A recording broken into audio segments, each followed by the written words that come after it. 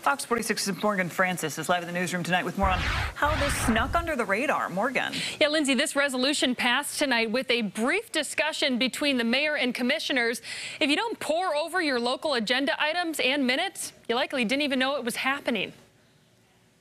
Waxhaw, a town of roughly 18,000 people, has had an average voter turnout in the last three municipal elections of 9.5%. The general election draws a bigger crowd. In fact, about half the town's population cast their ballot in even year elections. The motion carries four to one. Tonight, commissioners voted 4 to 1 to move the municipal election to even years to sync it with the general election. This has not been brought before the residents of Waxhaw. Former Commissioner Candice DeFinis says the approach wasn't transparent enough. This is on a consent agenda, which is a yes or a no vote at the beginning of this meeting this evening, with no feedback from any of our citizens. The resolution will give the mayor and every commissioner an extra year in office without contention. Only one was against it. For us to come out and essentially give ourselves an extra year uh, is something that that should be something left up to the people. Comments from the others.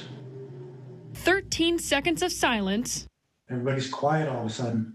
Cat got you all your tongues? Until others spoke up in favor of the measure. There is no good time, but there is no better time than to do it at this time. The data is there to support this decision going forward, and I think it's going to have a really good benefit for the town. This isn't set in stone just yet. The resolution goes to the state legislature and they can put forward a bill and approve or deny this request. Live in the newsroom, I'm Morgan Francis, Fox 46.